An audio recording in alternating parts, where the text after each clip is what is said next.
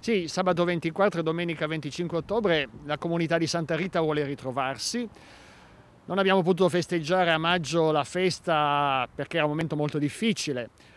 Anche questo è un momento difficile, ma noi non vogliamo rassegnarci. Per questo sabato 24 e domenica 25 nel cortile del nostro oratorio, all'aperto, con rispetto delle norme di sicurezza, ciascuno potrà prendere una rosa, accendere un lumino, venerare la statua della Santa, che per questa occasione porteremo appunto all'aperto, tutta la giornata di sabato e tutta la giornata di domenica. È un momento bello, un momento per pregare, un momento per ritrovarci, un momento per continuare ad avere fiducia, un momento perché anche nella difficoltà noi sappiamo che Santa Rita non ci abbandona.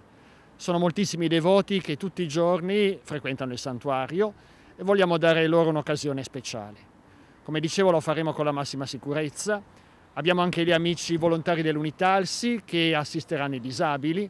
Tutti potranno farlo con tranquillità, mantenendo il distanziamento minimo di un metro, con le mascherine, coniugando sicurezza, preghiera, fiducia in Dio, sguardo verso il futuro. Noi siamo sicuri che Santa Rita non ci abbandona e siamo sicuri che anche grazie a lei riusciremo ad affrontare e a superare questo momento particolare. Abbiamo scelto di fare tutto all'aperto proprio perché questo ci dà maggiore tranquillità. Come dicevo manterremo il distanziamento, manterremo le mascherine, ciascuno potrà prendere la rosa, ci sarà il momento della benedizione in gruppi ristretti, limitati, contingentati.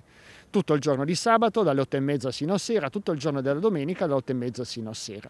In parallelo nel santuario ci saranno le attività consuete, possibilità di confessarsi e le messe con l'orario del sabato, con una messa in più alle 4 del pomeriggio e con l'orario della domenica che prevede messe dalle 7 del mattino alle 9 di sera. Penso sarà davvero una bella occasione per pregare e ritrovarci.